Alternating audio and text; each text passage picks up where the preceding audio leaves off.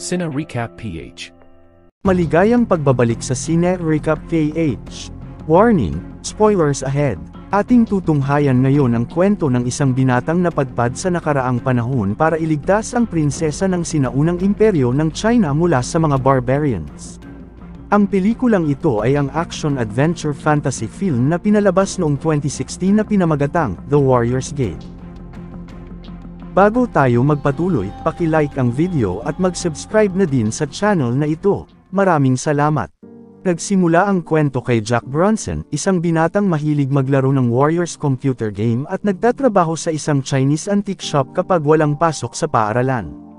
Sa kabila nito ang ina niyang si Ann Bronson ay problemado dahil sa kakulangan sa pera, hindi na niya kayang tustusan ang pag-aaral ng anak kaya plano niyang ibenta ang tinitirhan nilang bahay at lumipat na lang sa mas maliit na tirahan. Kinalaunan nagpunta si Jack sa parke para maglaro ng bisikleta, Naabutan siya doon ng grupo ng mga kabataan na mahilig mangbuli sa kanya. Hindi niya sinadyang mabunggo ang leader ng grupo na si Travis dahilan ng mahulog ito sa bisikleta. Gusto siyang gantihan ni Travis kaya mabilis na tumakas si Jack sa mga ito. Hinabol siya ng grupo ni Travis hanggang sa nagkaroon si Jack ng pagkakataong matakasin sila at nagtago siya sa tindahan na pinagtatrabahoan niya. Nakita siya ng may-ari ng tindahan na si Mr. Chang na abala sa trabaho. Pinayuhan siya nito patungkol sa palagi niyang pagtakas sa mga nangbubuli sa kanya. Tinulungan ni Jack si Mr. Chang na magbuhat patungo sa bodega. May padala ang pinsan ni Mr. Chang mula sa China. Pinabuksan niya kay Jack ang kahon na may lamang nagmula pa sa ninuno nila. Nakita ni Jack sa loob ang lumang banga na may nakaukit na babaeng parang sumasayaw kaya natawa si Jack. Sinabi ni Mr. Chang na tinatawag itong Dancing Princess, Iniligtas daw ng prinsesang ito ang bansa noong unang panahon mula sa mga barbarians.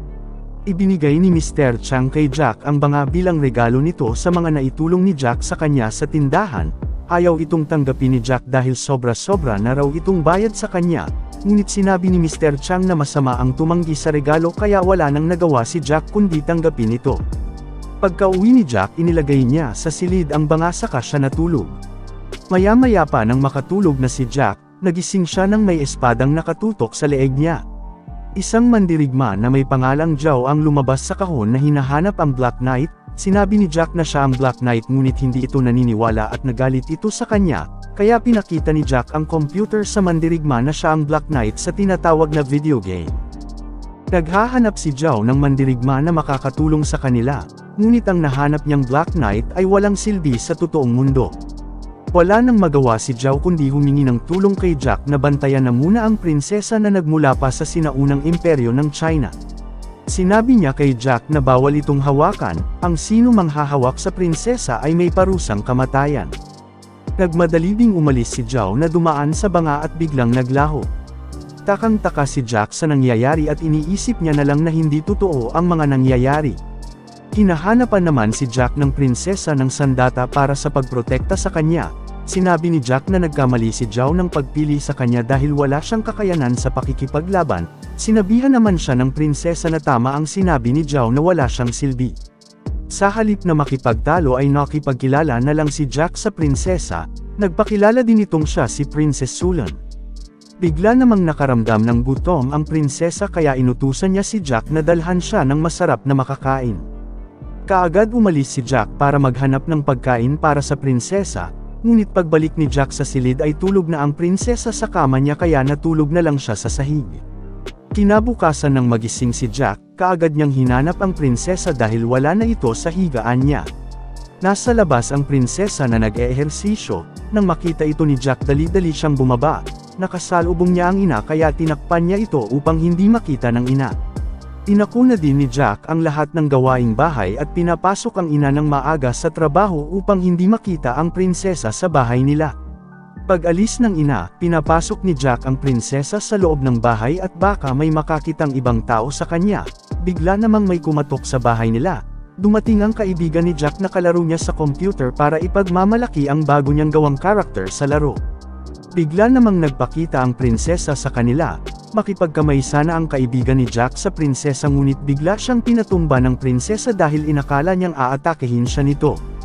Hindi naman maipaliwanag ni Jack sa kaibigan ang nangyayari kaya pinauwi na niya ang kaibigan. Pinagsabihan ni Jack ang prinsesa sa ginawa niya na makikipagkamay lang ang kaibigan sa kanya, ngunit pinaalala ng prinsesa na bawal siyang hawakan dahil may parusa itong kamatayan. Sinabi ni Jack na magkaiba ang panahon nila, iba ang panuntunan sa panahon niya at ang panuntunan niya ang masusunod. Gustong lumabas ng prinsesa para malaman ang panuntunan sa panahon ni Jack, ngunit pinigilan siya ni Jack dahil kailangan niya munang magpalit ng kasuotan upang hindi siya pagtitinginan ng mga tao. Matapos magpalit ng kasuotan ipinasyal ni Jack ang prinsesa sa isang mall. Nakakita ang prinsesa ng mga kabataang kumakain na bago sa paningin niya, sinabi ni Jack na tinatawag na ice cream ang kinakain ng mga ito. Gustong matikman ng prinsesa ang ice cream kaya binilhan siya ni Jack nito.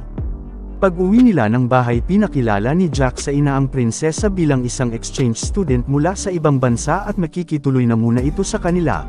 Masaya ang ina ni Jack na makilala ito ngunit pinagtatakha niya lang ang kinikilos nito na tila ngayon lang ito nakakita ng makabagong bagay.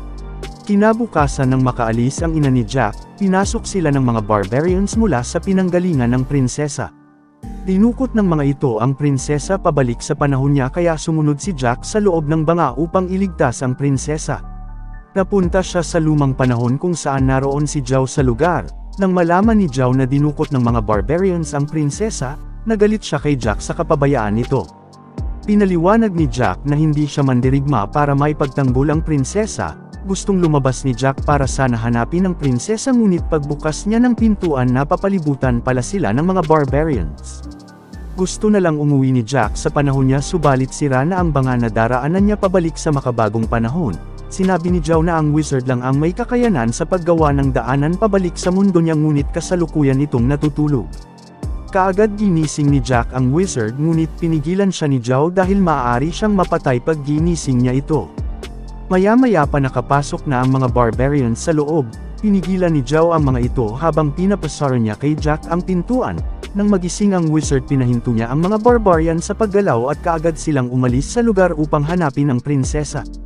Habang naglalakbay tinanong ni Jack ang wizard kung paano siya makakabalik sa panahon niya, sinabi sa kanya ng wizard na kailangan niyang makahanap ng apat na puno sa apat na parte ng bansa upang makagawa ulit ng panibagong banga. Umalis ang wizard para maghanap ng mga puno sa paggawa ng banga habang si Zhao at Jack naman ang maghahanap sa prinsesa. Samantala ito si Orin the Cruel ang hari ng mga barbarians, balak niyang pakasalan ang prinsesa upang makuha ang buong imperyo ng China. Inutusan niya ang mga tauhan para hanapin si Zhao at patayin upang wala nang makakahadlang sa mga plano niya. Sa ibang eksena nagpapahinga naman si Zhao at Jack sa paglalakbay at doon na rin sila nagpalipas ng gabi. Samantala sa kaharian ni Oren dumating na ang mga tauhan niya na bihag ang prinsesa, ipinahanda na niya ito agad para sa pagpapakasal sa prinsesa ng imperyo. Kinabukasan tinuloy nila Zhao ang paghahanap sa prinsesa. Gusto nang umuwi ni Jack kaya binigyan siya ng mapa ni Zhao patungo sa wizard, ngunit hindi ito alam basahin ni Jack. Walang ibang iniisip si Zhao kundi iligtas ang prinsesa kaya hindi niya matutulungan si Jack na makauwi. Wala nang nagawa si Jack kundi sumama na lang kay Zhao para iligtas ang prinsesa. Malayo-layo ang lalakbayin nila marating lang ang lugar ng mga barbarians. Napadaan sila sa isang tulay kung saan may mangkukulam na nagbabantay, pinagtangkaan silang patayin ng mangkukulam kaya nilabanan ni Zhao ito at muntika ng mahulog si Zhao sa bangin. Hinagisa ni Jack ang mangkukulam ng apoy kaya nailigtas niya si Zhao na muntika ng mapatay ng mangkukulam. Dahil dun binawi ni Zhao ang sinabi niyang walang silbi sa kanya si Jack. Samantala pinatawag ni Oren ang prinsesa para ipakita ang bago niyang kaharian, ngunit mas pipiliin ng prinsesa na mamatay na lang kaysa pakasalan siya. Tinanong siya ni Oren kung ano ang kailangan niya para mapasaya siya, sumagot ang prinsesa na ibubulong niya ang gusto niya, paglapit ni Oren sa kanya kinagat ang tenga ng hari ng mga barbarians. Galit na galit si Oren at kaagad niyang ipinakulong ang prinsesa. Samantala hiniling ni Jack kay Zhao na turuan siya nito ng martial arts upang matutunan niya ang makipaglaban at matutulungan siya nito kung kinakailangan. Pinagawa siya ni Zhao ng bilog sa kanyang mga kamay ngunit hindi naniniwala si Jack dahil pakiramdam niya ay niloloko lang siya nito. Ipinakita ni Zhao ang bilog na itinuro niya kay Jack na ito ang magiging pundasyon niya sa pakikipaglaban. Nalaman ni Jack na totoo ang turo ni Zhao kaya ginawa na niya din ito. Kinabukasan ng ipagpapatuloy ng dalawa ang paglalakbay, Pinuproblema ni Zhao ang lawa dahil aabutin daw sila ng ilang araw para lakbayin ang paikot ng lawa. Iminungkahi ni Jack na languyin nila ang lawa upang mapabilis silang makarating sa kabila. Tumanggi si Zhao dahil hindi pala siya marunong lumangoy. Pinagtawanan siya ni Jack dahil sa galing nitong makipaglaban, hindi pala siya marunong sa paglangoy. Nakipagsundo si Jack kay Zhao na tuturuan siya nitong lumangoy kapalit tuturuan pa siya sa pakikipaglaban. Kaagad sinubukan ni Zhao ang paglangoy sakay sa isang puno patawid sa kabilang bahagi. Nang marating na nila ang lugar ng mga barbarians pinlano ni Zhao ang mga hakbang nilang makatawid sa mga mandirigmang barbarians. Upang hindi na mahirapang makapasok nagpahuli na lang sila sa mga barbarians. Kinausap sila ni Aaron at sinabi nito ang mga plano niyang pagpapakasal sa prinsesa at ang balak niyang patayin ang mga ito pagkatapos ng kasalan. Kinalaunan ni Biniti ng dalawa sa loob ng palasyo, dinalhan sila ng makakain ng isa sa tauhan ni Aaron, doon nagkaroon ng pagkakataon sila Jao na makatakas matapos maagaw ang sandata ng barbarian. Pagkatapos inutusan ni Zhao si Jack na iligtas ang prinsesa sa pamamagitan ng mga naituro niya. Nakaharap ni Jack ang bantay ng prinsesa at napabagsak niya ito sa kanya kinuha ang susi ng silid. Pagpasok niya sa loob na suntok siya ng prinsesa dahil sa kasuotan niya, napagkamalan siya ng prinsesa na barbarian. Masayang masaya ang prinsesa na pinuntahan siya ni Jack para iligtas at dahil sa tuwa muntikan na niyang mahalikan si Jack kung hindi nang dumating si Zhao para tulungan silang makatakas. Gumawa si Zhao ng mga butas sa sahig habang binibilang ni Jack kung ilan ang paparating. Pagdating ng mga barbarians sa silid bumuo ang buong sahig nito dahilan ng mahulog ang lahat ng barbarians sa ibaba at kaagad silang tumakas gamit ang mga nakuha nilang kabayo.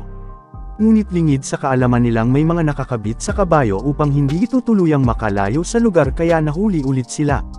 Ikinulong ulit sila sa loob ng silid, nagtataka si Jack kung bakit binibigyan sila ng makakain at tinanggalan ng posos. Sinabi ni Zhao na tinatawag yung huling hapunan para sa taong mamamatay na. Kumain si Zhao habang pinuproblema naman ni Jack na mamamatay na siyang bata pa at wala pang nagawa sa buhay kagaya ng paghalik sa isang babae. Sumagot naman si Zhao na siya din ay wala pang nahalikan. Sinabi ni Jack na muntikan pa lang siyang makahalik. Inisip ni Zhao na ang prinsesa ang hahalikan ni Jack ngunit hindi na niya ito pinansin dahil na rin sa mamamatay na sila. Nakakita naman si Zhao ng paru-paro sa bintana, kinausap niya ito. Natanong ni Jack kung naiintindihan ba siya ng paru-paro, sumagot na lang si Zhao na sana naiintindihan siya nito. Maya-maya pa mayroong kung anong usok ang pumasok sa loob ng pinagkulungan sa prinsesa at sumapi ito sa kanya. Kinabukasan araw na ng kasal ng prinsesa at hari ng mga barbarians, nakapwesto na din si Zhao at Jack sa pagbibitayan sa kanila. Nagpasalamat si Jack kay Zhao sa mga itinuro nito sa kanya bago sila mamamatay.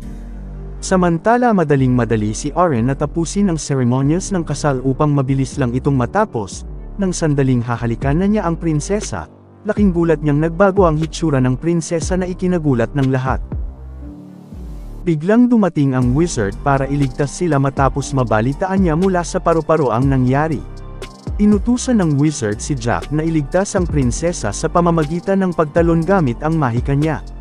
Pagdating ni Jack doon na itulak niya si Oren na pinagtatangkaan ang prinsesa na patayin sa kanya itinakas ang prinsesa, ngunit maraming barbarians sa daraanan nila kaya napilitan silang makipaglaban sa mga ito. Ibinalik na din ng wizard ang dating hitsura ng prinsesa sa kasila tumakas ni Jack sa tulong ni Zhao habang tumakas naman ang wizard kasama si Zhao. Nang magising si Jack sa gubat kaagad niyang hinanap ang prinsesa nang hindi niya ito makita sa tabi niya, nag-ikot-ikot siya sa gubat at nakita niya itong nakatali. Nang sandaling papakawalan na niya sana ito dumating ang mga barbarians sa lugar kasama si Oren, nakipaglaban si Jack mag-isa sa mga ito hanggang sa mapatay niya ang lahat ng barbarians. Nagulat ang prinsesa na nagawang mapatay ni Jack ang hari ng mga barbarians. Kinalaunan itinalaga na ang prinsesa bilang bagong empress sa imperyo ng China kung saan nakadalo si Jack bilang isang panauhin sa pagdiriwang. Bago makauwi si Jack ipinatawag siya ng empress, nakikipagkamay ang empress kay Jack ngunit nag-aalangan ito na baka ipapatay siya pag nahawakan niya ang empress. Sinabi ng empress na wala namang nakakakita sa kanila kaya malaya silang gawin ito. Nagpasalamat ang empress sa mga naitulong niya at nagpaalam na sila sa isa't isa, Gusto sana ng Empress na sumama sa kanya ngunit dahil sa katungkulan niya sa bansa ay hindi na niya ito magagawa pa. Bilang regalo ay hinalikan ng Empress si Jack at bilang paalam na din.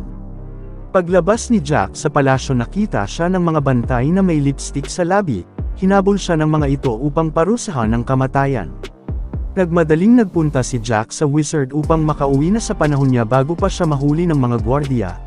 Dumating naman si Zhao para pagbayarin siya sa paglabag niya sa panuntunan nila, ngunit pinagbigyan siya ni Zhao dahil sa pagiging magkaibigan nila at nagpaalam na din sila sa isa't isa. Dumating na ang mga bantay na humahabol kay Jack sa lugar, bago pa tuluyang nawasak ang banga nakatawid na si Jack pabalik sa panahon niya. Nagulat naman ang ina niya nang maabutang sira-sira ang mga gamit sa bahay nila. Makalipas ang mga nangyari pumasok na ulit sa paaralan si Jack, hinarang na naman siya ng grupo ni Travis at ginugulo. Malakas na ang loob ni Jack na labanan si Travis matapos siyang matutong makipaglaban kung saan napahiya niya ito sa mga kasamahan at sa mga estudyante roon. Pag-uwi ni Jack sinubukan niyang ayusin ang banga ngunit wala na talaga itong pag-asang mabuo pa. Naisip ni Jack na gumawa na lang ng mga karakter ng laro hango sa panahong napuntahan niya at ibinenta niya ito sa isang kilalang game developer. Pag-uwi niya ng bahay na abutan niya ang ina na umiiyak dahil sa mga problema, ibinigay ni Jack sa ina ang kinita niya sa naibentang laro. Nagulat ang ina niya kung saan galing ang pera niya, sinabi ni Jack ang ginawa niyang laro at naibenta niya ito sa malaking halaga. Makalipas ang mga araw bumalik si Jack sa mall para bumili ng ice cream, laking gulat niyang nasa likuran niya si Empress Sulan para bisitahin siya. Sinabi ng Empress na gumawa siya ng makabagong batas na pwedeng magbakasyon ang lahat kabilang ang Empress. Masayang masaya si Jack na magkasama na ulit silang dalawa ni Sulan. Dito na nagtatapos ang ating kwento, sana nagustuhan nyo. Huwag mong kalimutang i-like ang video at mag-subscribe na din sa channel na ito. Maraming salamat sa panunood, hanggang sa muli. Paalam!